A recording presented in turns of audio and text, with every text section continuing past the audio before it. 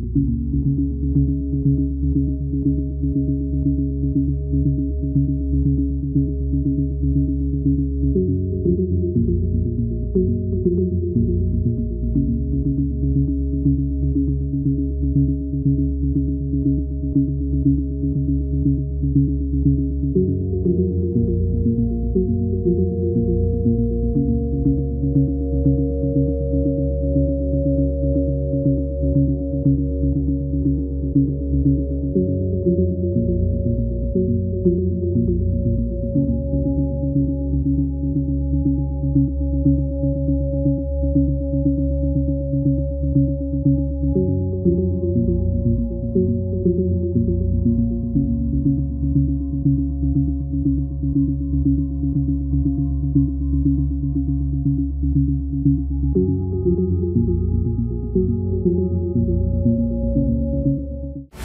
subscribe to the Federal's YouTube page for more news and updates.